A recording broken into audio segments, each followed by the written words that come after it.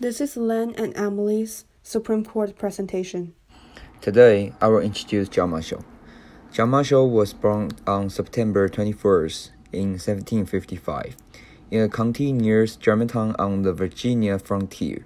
He was the first of 15 children born to Thomas Marshall and Mar- Mary Randolph Keith. His father was a land surveyor for, land, for Lord Fairfax and made a tidy income. John Marshall and his father were descendants of the colonist William Randolph, who had helped establish the Commonwealth of Virginia. The second one is about John Marshall's education. As a child, Marshall was mainly homeschooled by his father. Marshall said he had copied every word of the essay on man and other moral essays, and he memorized many of the more interesting passages by the time he was 12. In 1767, a young Scotch minister came and developed the first bit of formal education for Marshall. The Marshalls had long before decided that John was to be a lawyer. The last time of formal education came in 1780 during a six week stay at William and Mary College, where he attended the law lectures of George Wythe. The third one is about Marshall's professional career. During Marshall's 34 years as a Chief Justice, he gave content to the Constitution's omissions, clarified its ambiguities, and added breathtaking sweep to the powers it conferred. He set the court on a course for ages to come that would make the U.S. government spring in the federalist system, and the court of the Constitution's expositor. Marshall knew the true meaning of the Constitution and he meant it to be pariah.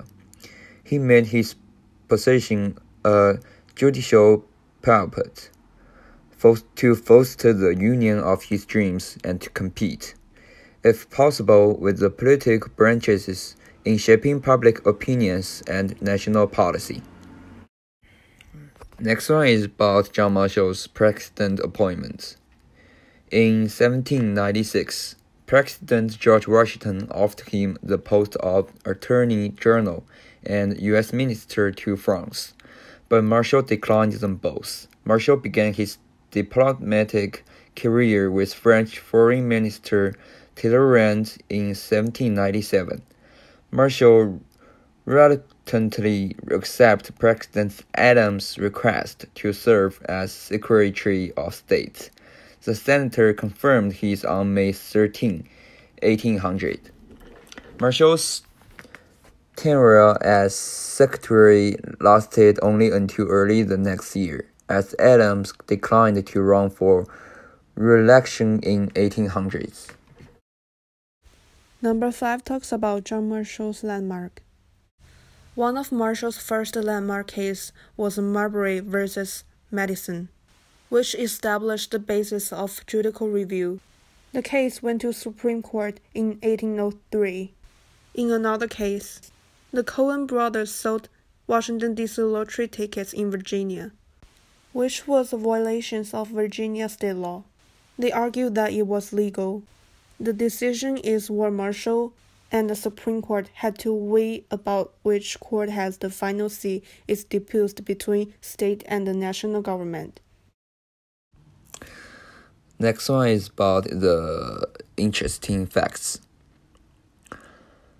Chief Justice of the U.S. Supreme Court, John Marshall, who had almost no formal schooling and studied law for only six weeks, nevertheless remains the only judge in American history whose distinction as a statesman derived almost entirely from his judicial career. John Marshall proudly served on the Supreme Court until his death on July 6, 1835, at age 79, in Philadelphia, Pennsylvania. The Liberty Bell was rung during the funeral procession. The nation mourned his passing. The Supreme Court of New York Times versus United States. Daniel Ellsberg believes that America needed to know what was in this report and decided to make the Pentagon paper public. Ellsberg copied more than 7,000 pages of documents that revealed the history of government's actions in the Vietnam War. In 1971, the decision by New York Times and the Washington Post to print illegal leaked clarified documents about American involvement in the Vietnam War sparked a First Amendment battle between the highest level of government and two of the most respected newspapers in the country.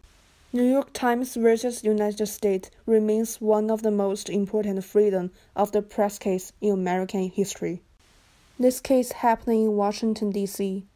Specifications of this case is in 1971, the New York Times published the first chapter of the Pentagon Papers. The administration of President Richard Nixon they issued federal injunctions against publishing the remainder of Pentagon Papers to both the New York Times and the Washington Post. The federal government argued that the publication of the top secret history would imperil national security. President Nixon's administration did violate the First Amendment.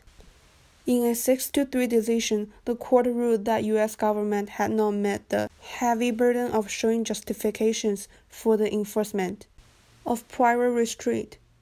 Because of President Nixon's violation, this case became Supreme Court of News Media versus United States. The court ordered the immediate end of the injunctions against the publication. The court offered two explanations for its ruling. First, both the history and language of the First Amendment support the view that the press must be left free to publish news whatever the source, without censorship, injunctions, or prior restraints. Second, that the publication of a history of U.S. action in Vietnam would not endanger current military personnel by revealing their locations or movements. The case reached the Supreme Court in June 1971.